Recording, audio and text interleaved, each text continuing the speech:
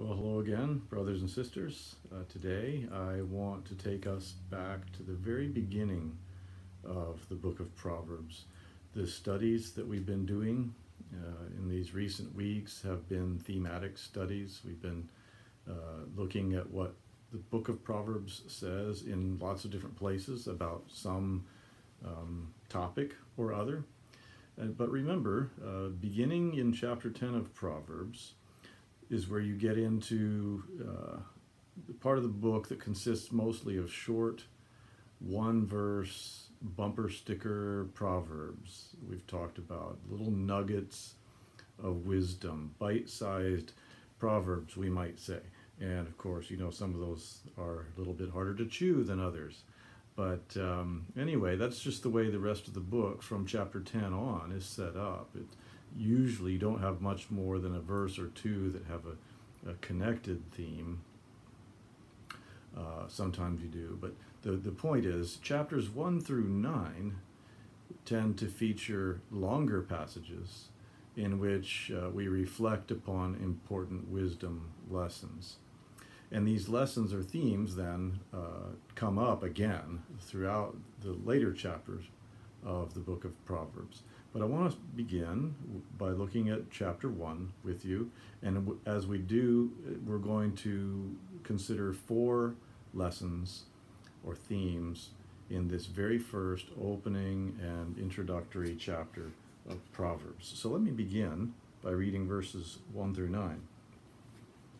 The Proverbs of Solomon, son of David, king of Israel, to know wisdom and instruction, to understand words of insight to receive instruction in wise dealing, in righteousness, justice, and equity, to give prudence to the simple, knowledge and discretion to the youth.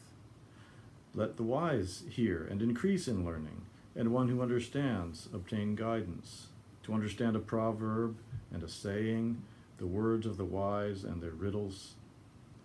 The fear of the Lord is the beginning of knowledge Fools despise wisdom and instruction. Hear, my son, your father's instruction, and forsake not your mother's teaching, for they are a graceful garland for your head and pendants for your neck.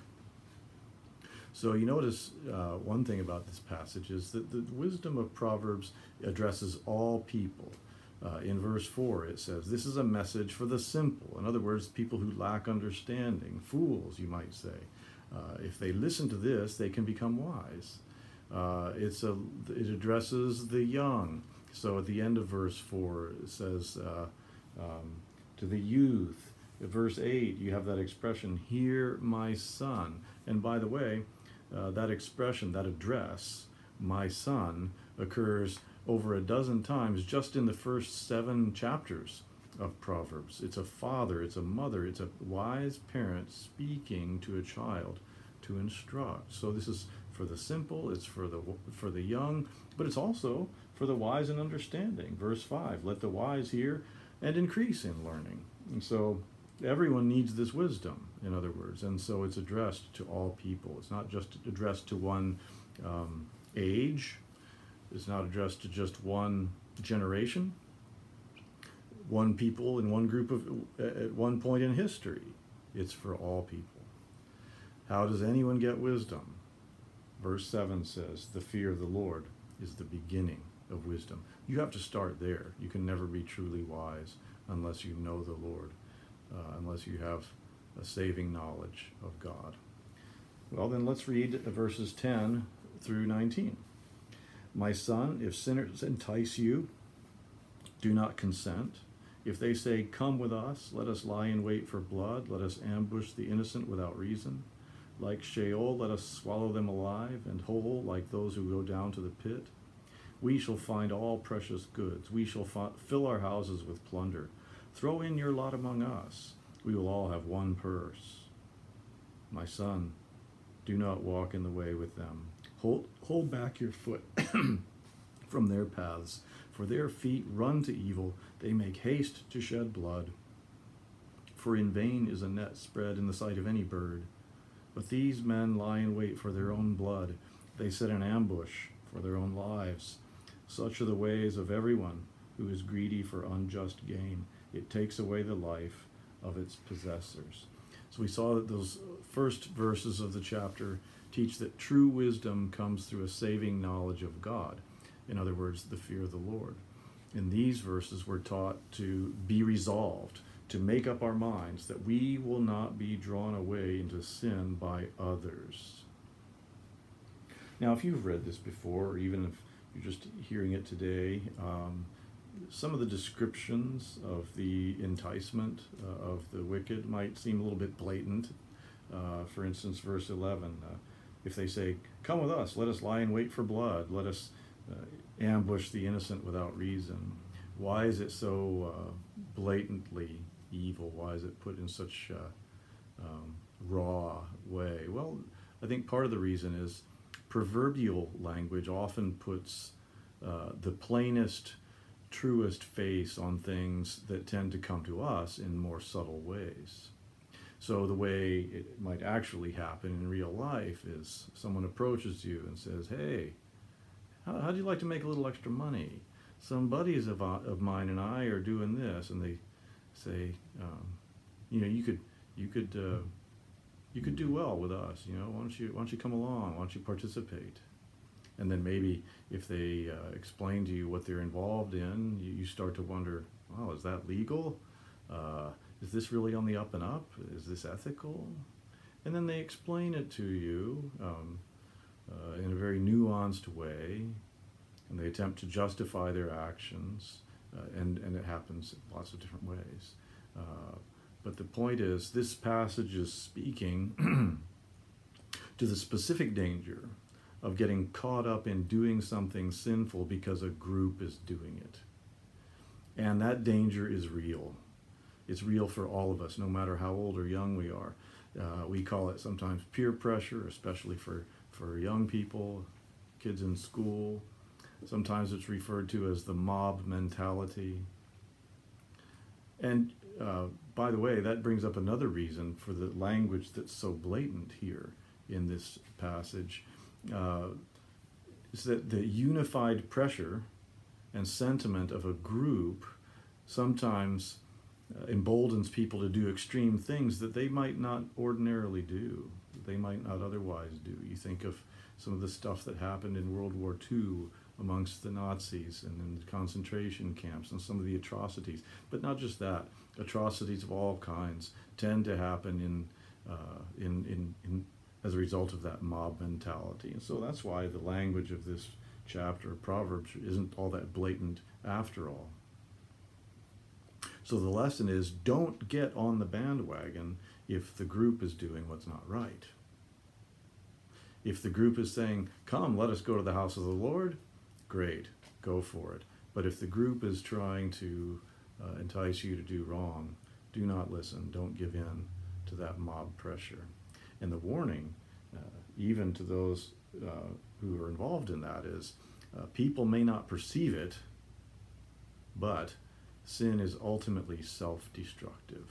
The people participating in uh, wicked activity don't realize it, but they're working for their own demise when they pursue unrighteousness. Let's look at verses 20 to 23. Wisdom cries aloud in the street. In the markets, she raises her voice. At the head of the noisy streets, she cries out. At the entrance of the city gates, she speaks. How long, O simple ones, will you love being simple?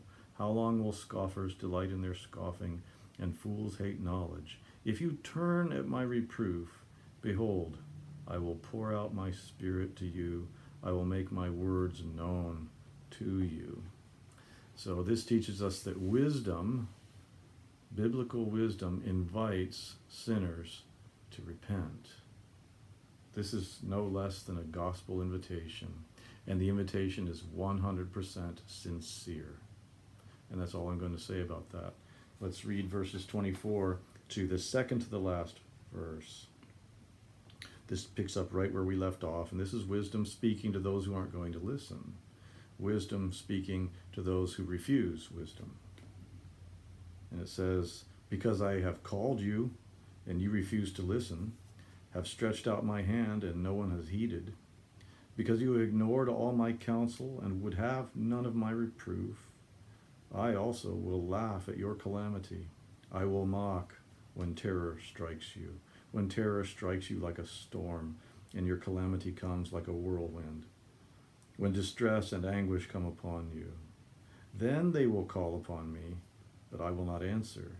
They will seek me diligently, but will not find me because they hated knowledge and did not choose the fear of the Lord, would have none of my counsel, and despised all my reproof. Therefore they shall eat the fruit of their way, and have their fill of their own devices. For the simple are killed by their turning away, and the complacency of fools destroys them.